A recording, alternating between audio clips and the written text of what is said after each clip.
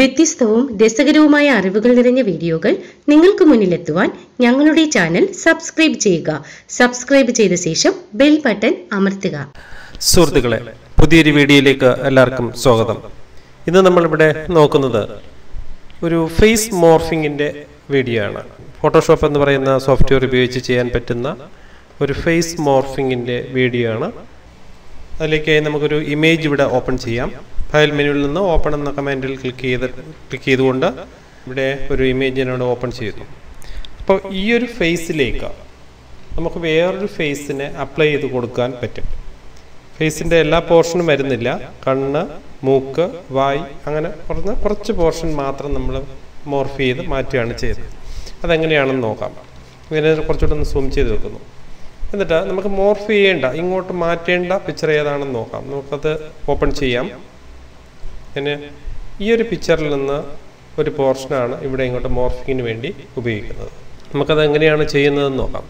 അതിലേക്കായിട്ട് ഞാൻ ഇവിടെ നിന്ന് ഈ ഫോട്ടോയുടെ നമ്മളിപ്പോൾ രണ്ടാമത് ഓപ്പൺ ചെയ്തിരിക്കുന്ന ആ ഫോട്ടോയിൽ നിന്ന് കുറച്ച് പോർഷൻ ഇങ്ങനെ കോപ്പി ചെയ്തെടുക്കണം അപ്പം ഞാൻ അതിലെ പെൻ ടൂൾ സെലക്ട് ചെയ്യുന്നു പെൻ ടൂൾ സെലക്ട് ചെയ്തുകൊണ്ട് കുറച്ച് പോർഷൻ നമുക്ക് ആവശ്യമായിട്ടുള്ള പോർഷൻസ് അത്രയും സെലക്ട് ചെയ്തെടുക്കുക എനിക്ക് ഇത്രയാണ് ഇങ്ങോട്ട് മോർഫ് ചെയ്ത് വെക്കേണ്ട ഓപ്ഷൻ ഞാൻ അത്രയും സെലക്ട് ചെയ്തു കൺട്രോൾ എൻ്റർ ചെയ്ത് സെലക്ഷൻ ആക്കി എന്നാൽ കൺട്രോൾ സി പറഞ്ഞ് കോപ്പി ചെയ്തു എന്നിട്ട് ഈ വിൻഡോ സെലക്ട് ചെയ്തിട്ട് ഞാനിവിടെ കൊണ്ടുവന്ന് പേസ്റ്റ് ചെയ്തു എന്നിട്ട് ഇതിനെ ഞാൻ ഒഴിവാക്കി തൽക്കാലം ക്ലോസ് ചെയ്തു അപ്പോൾ ഈ ഒരു ഫേസിനെ നമുക്ക് ഈ കാണുന്ന ഫേസിലേക്ക് അപ്ലൈ ചെയ്ത് കൊടുക്കണം അതെങ്ങനെയാണെന്ന് നോക്കാം നമുക്ക് അപ്പോൾ ഇവിടെ ഈ ഫേസിന് ഇവിടെ വെക്കുക വെച്ചതിന് ശേഷം ഇതിൻ്റെ വലിപ്പത്തിലേക്ക് ഇതിനെ വലുതാക്കുക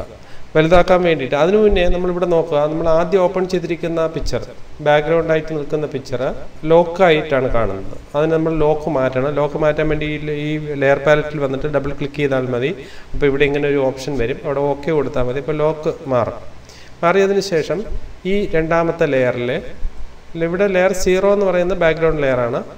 അതിലേക്കാണ് നമ്മൾ ഈ ഫേസിനെ ഫിറ്റ് ചെയ്യാൻ വേണ്ടി പോകുന്നത് അപ്പോൾ ലെയർ ഒന്ന് എന്ന് പറയുന്നത് നമ്മൾ രണ്ടാമത് കൊണ്ടുവച്ചിരിക്കുന്ന ഈ ലെയറാണ് കട്ട് ചെയ്ത് കൊണ്ടുവച്ചിരിക്കുന്ന ലെയറാണ് ആ ലെയറിനെ ഈ ഫേസിൻ്റെ വലിപ്പത്തിലേക്ക് മാറ്റണം അതിലേക്ക് കൺട്രോൾ ടി കൊടുത്ത് സെലക്ട് ചെയ്തു സെലക്ട് ചെയ്തിട്ട് ഇതിനെ ഞാൻ കുറച്ചൊന്ന് വലുതാക്കി വെക്കുക അപ്പോൾ വലുതാക്കാൻ വേണ്ടിയിട്ട് നമ്മൾ പഠിച്ചിട്ടുള്ളത് ഷിഫ്റ്റ് പ്രസ് ചെയ്തുകൊണ്ട് ക്ലിക്ക് ചെയ്ത് ഏതെങ്കിലും ഒരു കോർണർ പോയിന്റ് ക്ലിക്ക് ചെയ്ത് ഡ്രാഗ് ചെയ്താൽ മതി അങ്ങനെ നമുക്ക് ചെയ്ത് നോക്കാം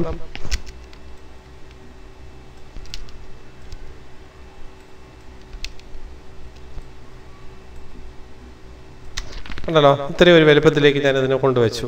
ഇനി നമുക്കിതിൻ്റെ ബാക്കിൽ നിൽക്കുന്ന ഫേസ് നമുക്ക് കാണണം കണ്ടാൽ മാത്രമേ നമുക്ക് ക്ലിയർ ആയിട്ട് അത് ചെയ്തു വെക്കാൻ പറ്റുള്ളൂ അതിലേക്കായിട്ട് ഞാൻ ഈ ഒന്നാമത്തെ ലെയർ ലെയർ ഒന്ന് അതായത് കട്ട് ചെയ്ത് കൊണ്ടുവച്ചിരിക്കുന്ന ഈ ലെയർ സെലക്ട് ചെയ്തതിന് ശേഷം അതിൻ്റെ ഒപ്പാസിറ്റി ലെയർ പാലറ്റിൽ നിന്ന് അതിൻ്റെ ഒപ്പാസിറ്റി കുറച്ച് കൊടുക്കുകയാണ് ചെയ്യുന്നത് ഒപ്പാസിറ്റി ഇവിടെ ഞാൻ ഫിഫ്റ്റി കൊടുക്കുന്നു പകുതി ഒപ്പാസിറ്റി കൊടുത്ത്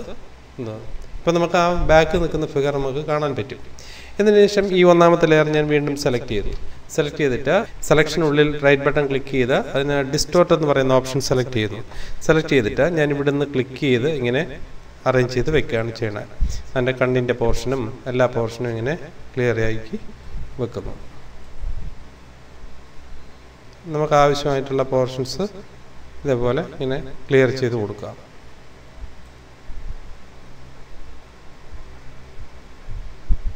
ഇവിടെ ഇങ്ങനെയാണ് നിൽക്കേണ്ടത് നമുക്ക് നമ്മളത് കറക്റ്റാക്കി നോക്കി വെക്കുക കണ്ണും അതുപോലെ തന്നെ മൂക്കും ബായും ഒക്കെ കറക്റ്റാ വരുന്ന രീതിയിൽ അതിനെ അലൈൻ ചെയ്ത് വെക്കുക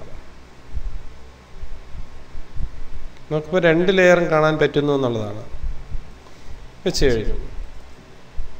ഇനി നമ്മൾ ചെയ്യാൻ പോകുന്നത് ഈ ലെയറിൻ്റെ നമ്മളിപ്പോൾ കൊടുത്ത ഒപ്പാസിറ്റി കുറച്ച് കൊടുത്തല്ലോ ഈ ലെയർ ഒന്നിൽ ഒപ്പാസിറ്റി ലെയർ കുറച്ചാണ് കൊടുത്തിരിക്കുന്നത് ആ ലെയറിൽ ഒപ്പാസിറ്റി ഞാൻ ഫുൾ ഇടാൻ പോവുകയാണ് ഇപ്പം ഫുള്ള് ഒപ്പാസിറ്റി ആയി കഴിഞ്ഞു ഇപ്പം ഇപ്പം നൂറ് ശതമാനം ഓക്കെയാണ് ഇനി നമ്മളിതിനെ ചേഞ്ച് ചെയ്യാൻ പാടില്ല അതങ്ങനെ തന്നെ നിലനിർത്തുക നിർത്തിയതിന് ശേഷം ഈ ഒന്നാമത്തെ ലെയറിനെ ഞാൻ ഇവിടുന്ന് സെലക്ട് മെനുവിൽ പോയിട്ട് ലോഡ് സെലക്ഷൻ എന്ന് പറയുന്ന ഓപ്ഷൻ കൊടുത്തു ലോഡ് സെലക്ഷൻ കൊടുത്തത് ഇതിനൊരു സെലക്ഷൻ കിട്ടാൻ വേണ്ടിയിട്ടാണ് ഇപ്പോൾ ഒരു സെലക്ഷൻ കിട്ടിയിട്ടുണ്ടാവും അപ്പോൾ ഈ സെലക്ഷൻ നമ്മൾ കിട്ടിക്കഴിഞ്ഞു ഇനി നമ്മൾ ചെയ്യേണ്ടത് ഇൻവേഴ്സ് സെലക്ഷൻ കൊടുക്കുക ഇൻവേഴ്സ് സെലക്ഷൻ കൊടുക്കാൻ വേണ്ടിയിട്ട് ഷിഫ്റ്റ് കൺട്രോൾ ഐ എന്നീ കീകൾ ഒരുമിച്ച് പ്രസ് ചെയ്തുകൊണ്ട് ഇൻവേഴ്സ് സെലക്ഷൻ കൊടുത്തു ഇൻവേഴ്സ് സെലക്ഷൻ കൊടുത്തതിന് ശേഷം സെലക്ട് മെനുവിൽ തന്നെ മോഡിഫൈ എന്ന് പറയുന്ന ഓപ്ഷനിൽ വന്നിട്ട് അതിൻ്റെ സബ് ഓപ്ഷനായിട്ട് കാണുന്ന എക്സ്പാൻഡ് എന്ന് പറയുന്ന ഓപ്ഷനിൽ ക്ലിക്ക് ചെയ്യുക അപ്പോൾ ഇവിടെ ഇങ്ങനെ ഒരു വിൻഡോ വരും അപ്പോൾ ഇവിടെ എത്ര എക്സ്പാൻഡ് ചെയ്യണമെന്നാണ് എക്സ്പാൻഡ് ചെയ്യുക എന്ന് പറഞ്ഞാൽ ഇവിടുന്ന് ഉള്ളിലേക്ക് വരാൻ വേണ്ടി അതാണ് ഇൻവേഴ്സ് സെലക്ഷൻ കൊടുത്തത് ഈ കാണുന്ന അകത്ത് കാണുന്ന സെലക്ഷൻ ഇപ്പോൾ പുറത്തൊരു സെലക്ഷൻ ഉണ്ട് അകത്തൊരു സെലക്ഷൻ ഉണ്ട് അകത്ത് കാണുന്ന സെലക്ഷൻ ഈ നിൽക്കുന്ന ലെയറിൻ്റെ ഒരു അഞ്ച് പോയിൻറ്റ് അഞ്ച് പിക്സൽ ഉള്ളിലേക്ക് വരണം അല്ലെങ്കിൽ പത്ത് പിക്സൽ ഉള്ളിലേക്ക് വരണം എത്രയാണോ നമുക്ക് വേണ്ടത് അത്രയും കൊടുക്കുക ഞാനിപ്പോൾ ഒരു അഞ്ച് പിക്സൽ ഉള്ളിലേക്ക് വരാൻ വേണ്ടിയിട്ട് കൊടുത്തിട്ടുണ്ട് ഓക്കെ കൊടുക്കുക ഇപ്പോൾ ഒരു അഞ്ച് പിക്സൽ ഉള്ളിലേക്ക് വന്നിട്ടുണ്ട് നിങ്ങൾ സൂം ചെയ്ത് നോക്കിയാൽ മനസ്സിലാവും ഉണ്ടല്ലോ ഒരു അഞ്ച് പിക്സൽ ഉള്ളിലേക്ക് അത് വന്നിട്ടുണ്ട് എന്നിട്ട് ഇൻവേഴ്സ് സെലക്ഷൻ ഒഴിവാക്കുക അതിന് കൺട്രോൾ ഷിഫ്റ്റ് കൺട്രോൾ ഐ ഇപ്പോൾ ഇൻവേഴ്സ് സെലക്ഷൻ പോയിട്ടുണ്ട് ഇനി നമ്മൾ ചെയ്യാൻ പോകുന്നത് ഇപ്പോൾ നമ്മൾ നിൽക്കുന്ന ലെയർ ഒന്നിലാണ് അതായത് നമ്മൾ കട്ട് ചെയ്തുകൊണ്ട് വെച്ച ലെയറിലാണ് ഈ സെലക്ഷൻ നിൽക്കുന്നത് പക്ഷെ നമുക്ക് ആ ആ ലെയറിനെ അതായത് ഒന്നാമത്തെ ലെയറിനെ ഞാൻ ഒന്ന് ഹൈഡ് ചെയ്ത് വെക്കുന്നു തൽക്കാലത്തേക്ക് ആ സെലക്ഷൻ അങ്ങനെ തന്നെ നിർത്തിക്കൊണ്ട് ഞാൻ ഇവിടെ സീറോ ലെയർ സെലക്ട് ചെയ്യുന്നു സീറോ ലെയർ സെലക്ട് ചെയ്തതിന് ശേഷം ഡിലീറ്റ് എന്ന് പറയുന്ന ഓപ്ഷനിൽ ക്ലിക്ക് ചെയ്ത് അതിനെ ഡിലീറ്റ് ചെയ്യുക എന്നിട്ട് കൺട്രോൾ ഡി പറഞ്ഞ് ഈ സെലക്ഷനെ ഒഴിവാക്കുക ഇനി എന്ത് ചെയ്യുക ഈ ഒന്നാമത്തെ ലെയർ വീണ്ടും സെലക്ട് ചെയ്ത് കൊടുക്കുക അപ്പോൾ ബാക്കിൽ നിൽക്കുന്ന ലെയർ കട്ടായിപ്പോയി പോയി മുകളിൽ നിൽക്കുന്ന ലെയർ വന്നിട്ടുണ്ട് അപ്പോൾ അതിന് നൂറ് ശതമാനം ലെയർ ഓക്കെയാണ് ഇനി നമ്മൾ ചെയ്യാൻ പോകുന്നത് ഇനി ചെയ്യുന്ന കാര്യങ്ങൾ നോക്കുക ഈ രണ്ട് ലെയറും തമ്മിൽ ഒരുമിച്ച് സെലക്ട് ചെയ്യുക ഷിഫ്റ്റ് പ്രസ് ചെയ്തുകൊണ്ട് രണ്ട് ലെയറും തമ്മിൽ ഒരുമിച്ച് സെലക്ട് ചെയ്യുക ഇങ്ങനെ ഒരുമിച്ച് സെലക്ട് ചെയ്തതിന് ശേഷം നേരെ നമ്മൾ അടുത്ത് പോകുന്നത് എഡിറ്റ് മെനുവിൽ പോയിട്ട് ഓട്ടോ ബ്ലെൻഡ് ലേയേഴ്സ് എന്ന് പറയുന്ന ഓപ്ഷനിൽ ക്ലിക്ക് ചെയ്യുക അപ്പോൾ ഓട്ടോ ബ്ലെൻഡ് ലെയേഴ്സിലേക്ക് പോകുമ്പോൾ ഇവിടെ ഇങ്ങനെ ഒരു വിൻഡോ നമുക്ക് ലഭിക്കുന്നതാണ് ഇവിടെ നമുക്ക് രണ്ട് ഓപ്ഷൻ പനോരമ സ്റ്റാക്ക് ഇമേജ് എന്ന് പറയുന്ന രണ്ട് ഓപ്ഷൻ ഉണ്ട് ഇതിൽ ബ്ലെൻഡ് ചെയ്യുന്നതിൻ്റെ ഒരു ഓപ്ഷൻ പ്രധാനപ്പെട്ട പനോരമ എന്ന് പറയുന്ന ഓപ്ഷനാണ് ആ ഓപ്ഷൻ സെലക്ട് ചെയ്യുക ഓക്കെ കൊടുക്കുക അപ്പോൾ അത് ആ ബാക്കിൽ നിൽക്കുന്ന ഫിഗറുമായിട്ട് ബ്ലെൻഡ് ചെയ്ത് വന്നതായിട്ട് നമുക്ക് കാണാൻ സാധിക്കും ഇപ്പം നമ്മൾ കണ്ടിട്ടുണ്ടാവും നേരത്തെ നിന്ന ഫിഗർ അല്ല ഇപ്പോൾ കാണുന്നത്